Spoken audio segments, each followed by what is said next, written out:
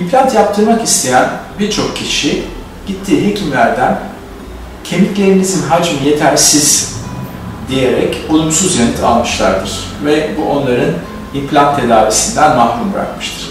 Oysa ki e, yetersiz kemiği olan kişilerde birçok teknik kullanılarak yeni kemik hacimleri yaratılarak arkasından implant uygulamak mümkün.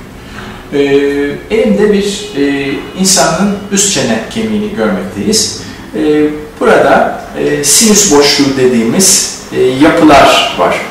E, üst çene dişlerin olduğu bölgenin hemen arka tarafında kemiğin arkasından baktığımız zaman bu boşluğu görmekteyiz. Sinüs boşluğu.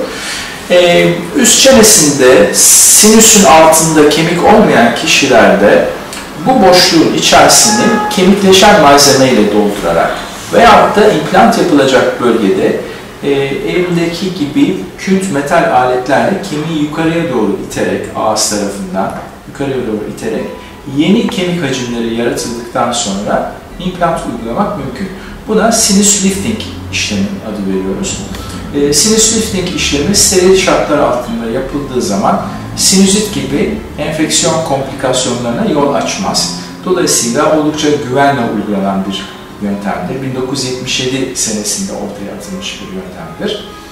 Ve e, buna benzer birçok tekniği kullanarak günümüzde e, çene kemiklerindeki kemik hacimleri yeterli olmayan kişilere implant yapmak mümkün oluyor. Dolayısıyla e, hekimlerinden e, çene kemikleriniz yeterli değil şeklinde hayal kırıklığı yaratan bir cevap alan hastalarımıza söyleyebileceğimiz günümüzde artık bu problem aşılmış durumdadır.